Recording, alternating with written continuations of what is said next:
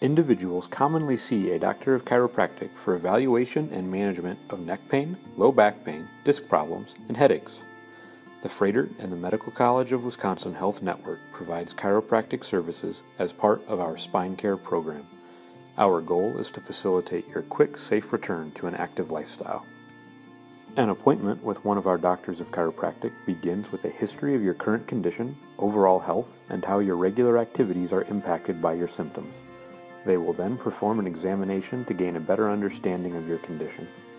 If necessary, diagnostic testing, such as imaging or laboratory studies, may be ordered, although in most cases, research has shown that these are unnecessary.